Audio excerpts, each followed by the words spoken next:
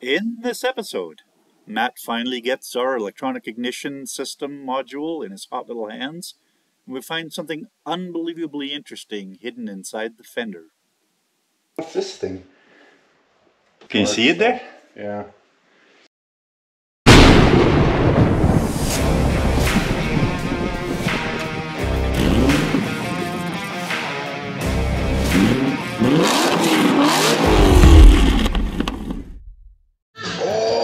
Yeah, massaging seats. Fired up for that alone.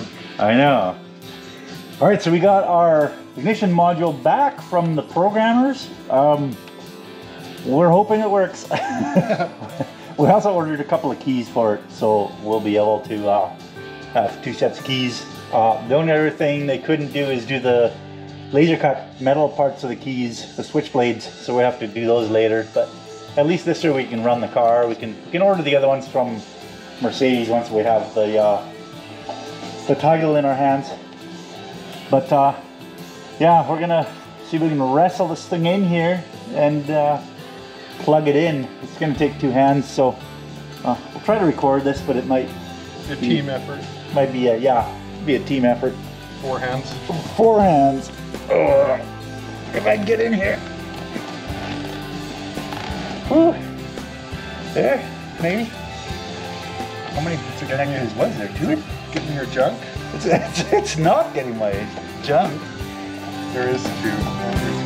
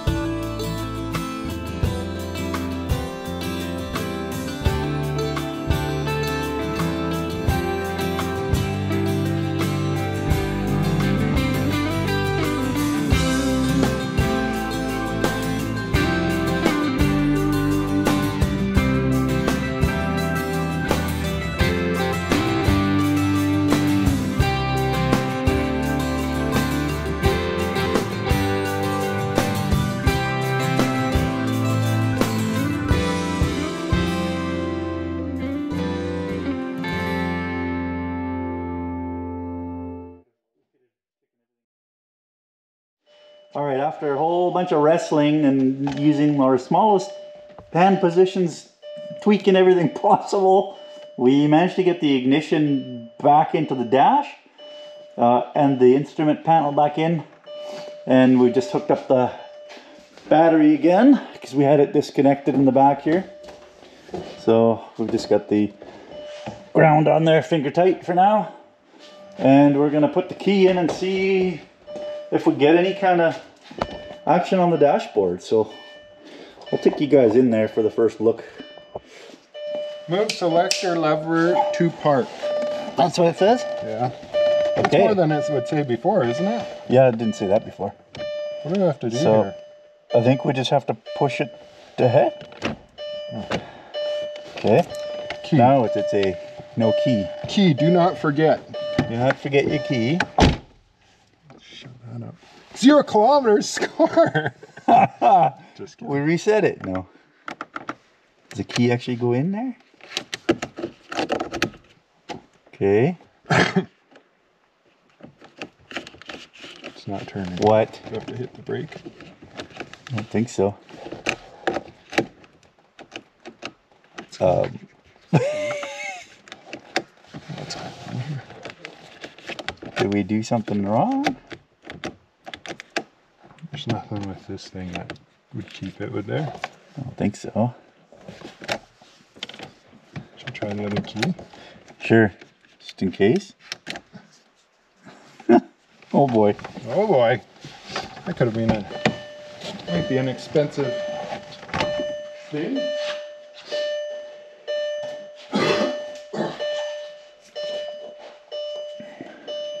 lock and unlock don't work on the key. They don't? No. Uh, that's kind of a bad Red sign, flag? isn't it?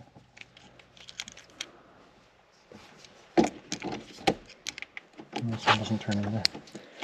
Um, shouldn't we like something has to work, right? I mean, if they can't even unlock it, then That's got a light that blinks. yeah.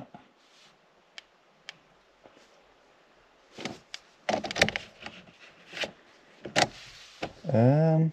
What are your thoughts? Hey guys, we're back for another day on the CL55.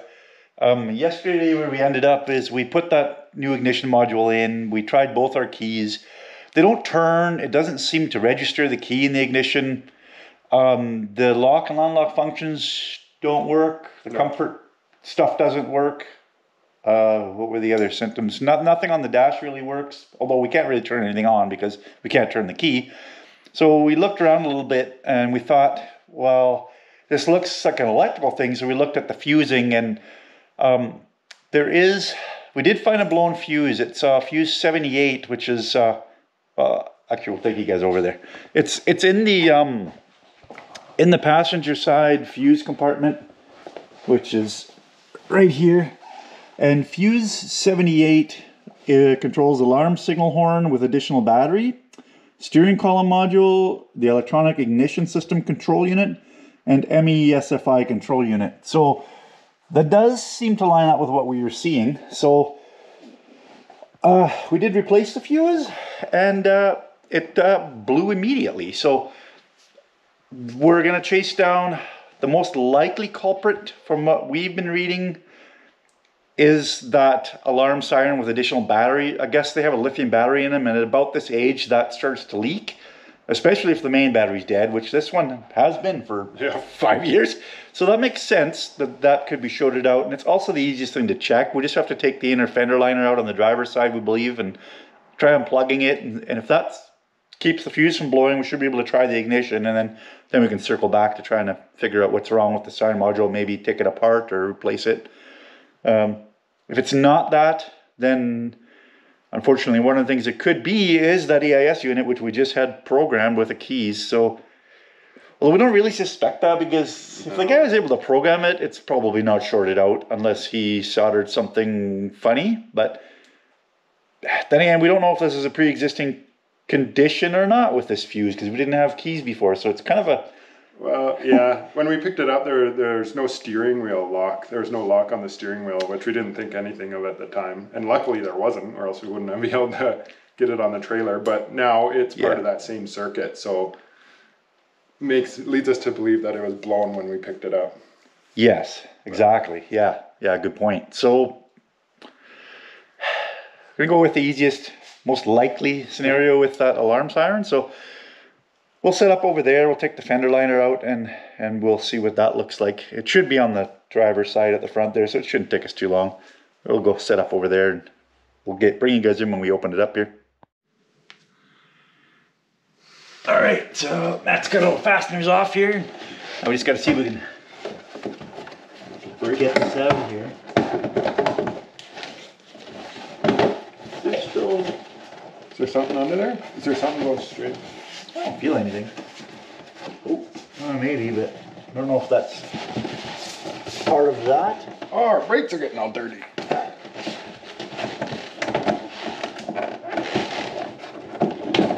There is one down here, but I don't know if that's part of the skirt or not. Yeah, I think it is. Oh yeah. Uh, I don't know. I can't tell. Although maybe it is. Must be. Huh, what is it? Oh yeah, it is. There's a. What is that? Does this work? Yeah. Oh, it's one of them Torx ones. Ah.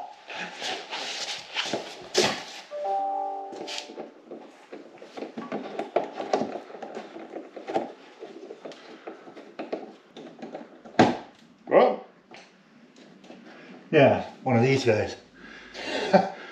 interesting. It did sound like it loosened it though. This is more over here. I don't think so. We definitely have to curl the top down, right? Oh, oh, there. Whoa, that was easy. What's this little dirt pocket for? Water collector, eh? We got we need a security. Can you see it there? Yeah, it's in here. Need the security Torx, right? Yeah. Oh, look, there's a we bolt missing. What's this thing? What is this guy? Megahertz, 315 megahertz. Oh, it's an antenna. Oh yeah. Well, let's take a peek.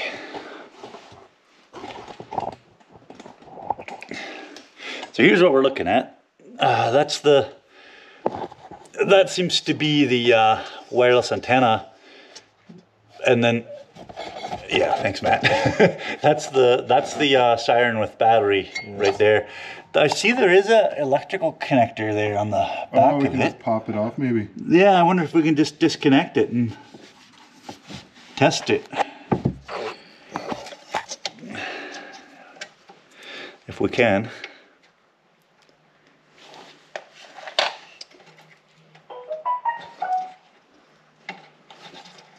Do we need a little pick tool or something? Uh-huh. Maybe. Oh. All right, so we managed to just disconnect the connector from the siren unit and we left it installed for now. Just to troubleshoot this, I'm gonna put a new seven and a half amp fuse in here in position 78. Okay, and Matt's gonna connect the battery back up. Whoa! The windows just budged. Look at that. This might be successful. They've never done that before. Okay, well, let's try a key in there and see if it recognizes it. Oh, fingers crossed, this would be so nice, Matt.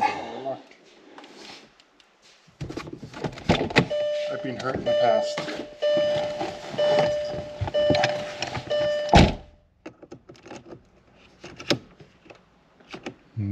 No, No? no, difference? nothing. Is anything different on the dash? No. No.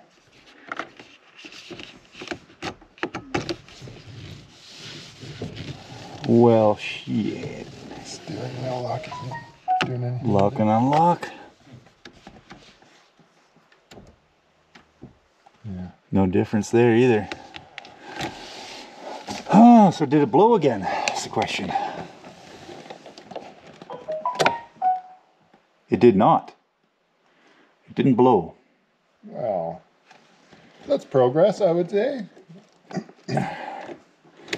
Well, that definitely tells me that there's something wrong with that sign unit, but why does key not work, Matt? okay, well. I guess two steps forward, one back. We're not uh, much further ahead now than we were before. Hmm. Okay, we're gonna have to do a little more research into this. Okay, so update just for uh, just for shorts and giggles, we tried our second key, and uh, like magic, it turns. We've got a dashboard and a fan and lights. Oh, we better try the massage seats. That's important. the massage seats, yeah. Oh, look at the climate control even came alive, Matt.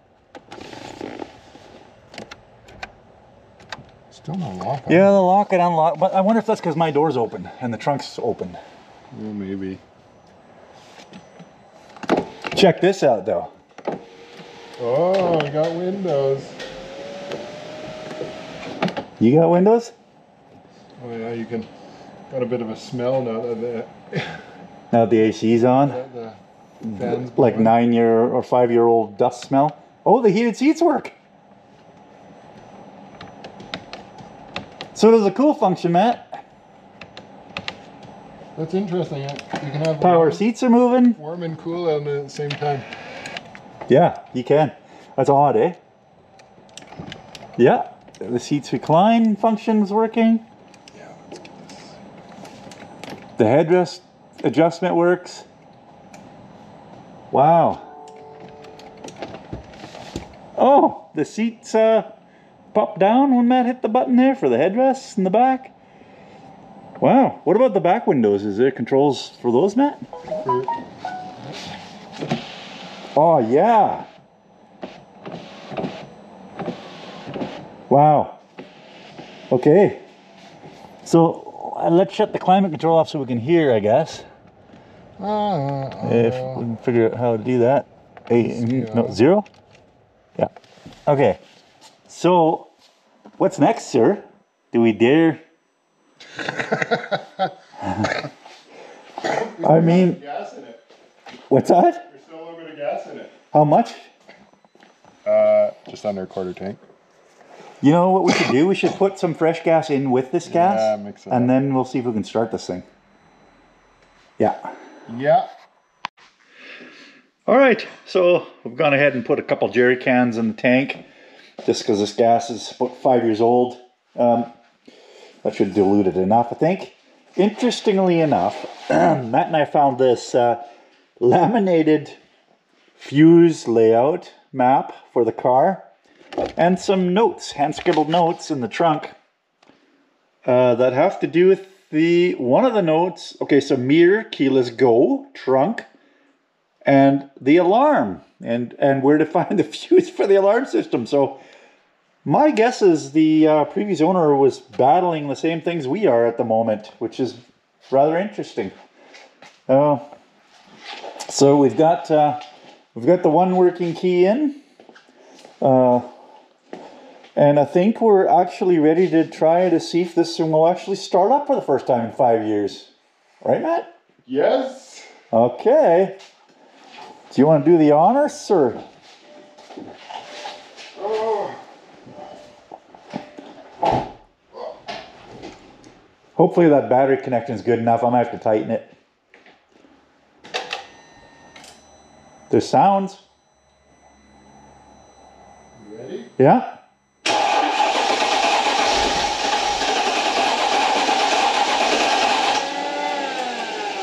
Interesting.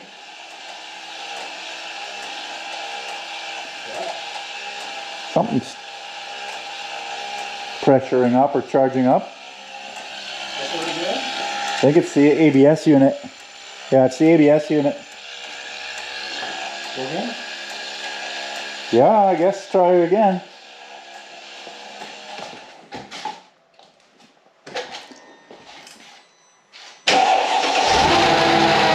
No way! Service in 16 days. Holy cow. Matt, there's not even any smoke or anything.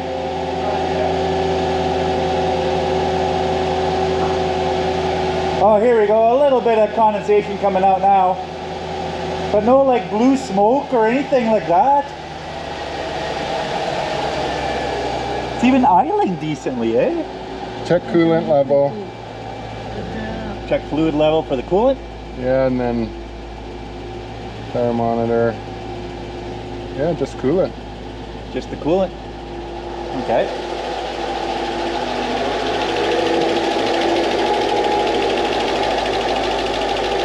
Well, first time in five years it's run it. It's not bad. Didn't didn't start at first, but then when it started, this actually sounds pretty decent. A little ticking there or something, eh?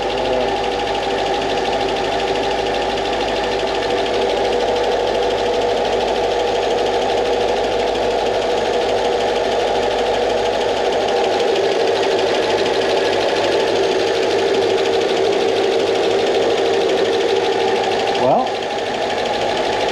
I guess we should check the coolant level. Oh, uh, you got a flashlight handy? Yeah.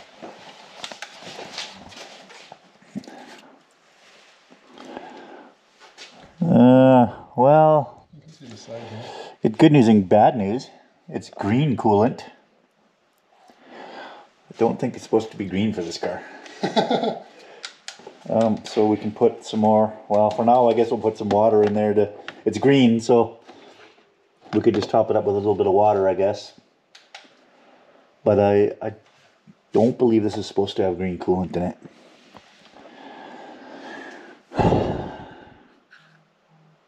Doesn't say on the cap. We'll have to look it up, but we could top it up just to get rid of the warning right now with water, so we can monitor the level. Yeah. I'll go get us a little bit of water. All right, so we topped up the antifreeze uh, in the car, and now the next uh, the next plan is going to be to start it back up again. We just wanted to make sure we didn't actually have no coolant in there. We're going to start it back up, let it warm up for a bit, and then uh, then we can drop the oil and do an oil change. And after that, we just got to quickly bleed the brakes, and then we should be able to take it for a spin, right, Matt?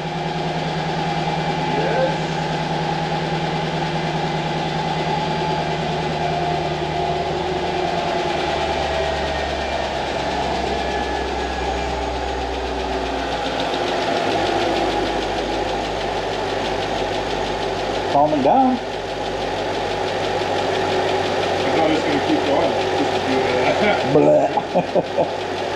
no way, Matt. It's a Mercedes. They don't just die like that.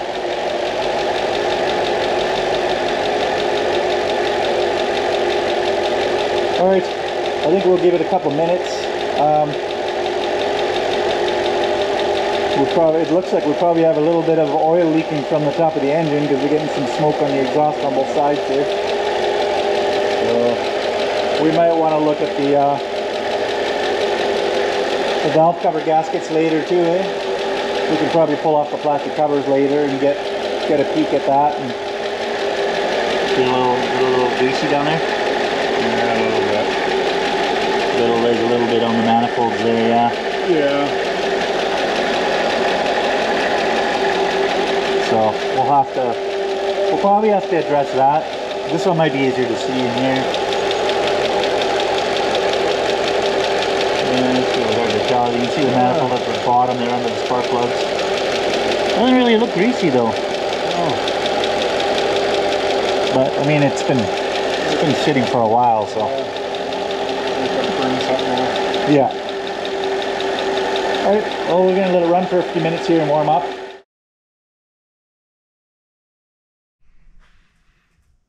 Well, guys, can't begin to tell you how what a relief today's episode was for us. Uh, we put a lot of faith uh, in this car, hoping the engine was good, throwing a bunch of parts into it while we were waiting for a key because there was nothing else we could do.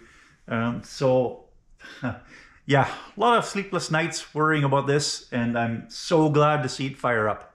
Uh, our next steps are going to be changing the uh, changing the oil in this old girl, and then we're going to also flush the brake system because it's been sitting for five years now in a storage unit, and the brake fluid looks a little dark. So we're going to flush that out.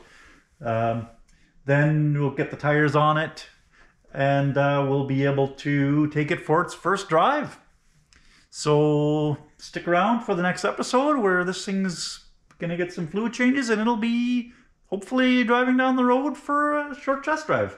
We still don't have the title for it. We're waiting for that. Um, our local agency is not the quickest when it comes to that kind of paperwork stuff. So fingers crossed it doesn't take forever. But um, we're unfortunately stuck waiting for that, so we can just take it for a short drive down our road and back. But hey, it's better than nothing. Thanks very much for watching, and uh, if you like, please consider subscribing, and have a great day.